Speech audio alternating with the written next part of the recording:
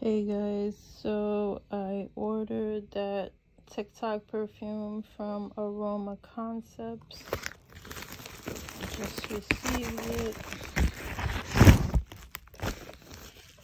And let's check it out.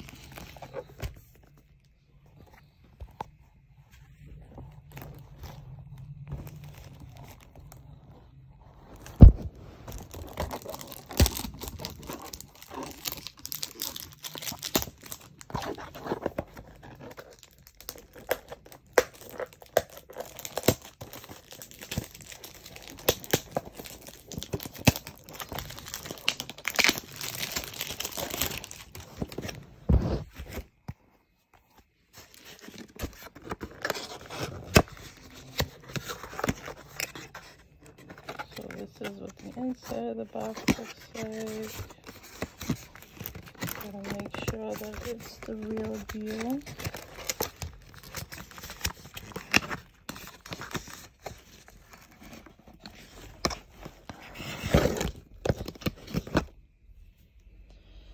And here we go. We're gonna see all the tests that people said to look for. So it's supposed to be writing in the back and underneath. It's supposed to say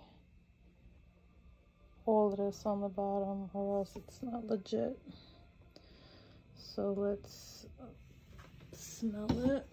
Let's, uh, you can see how big it is.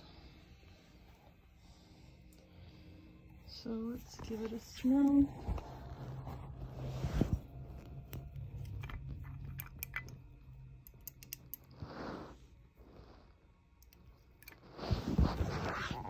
Smells good. It's not like all this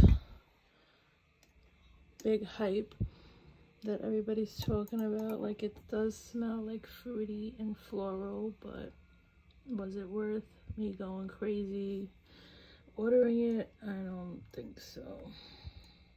But try it out for yourself.